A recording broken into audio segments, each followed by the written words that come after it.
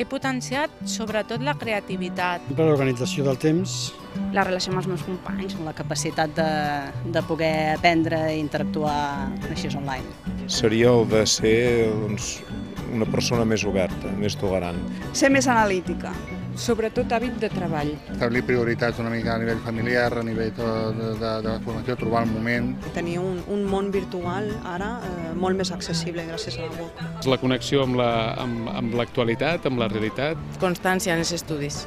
La capacitat d'autoformar-te i d'aconseguir informació per un mateix i la capacitat d'autocrítica i d'anàlisi. De tindre una rutina de treball i una disciplina, la rapidesa, el dinamisme i l'ús de les noves tecnologies.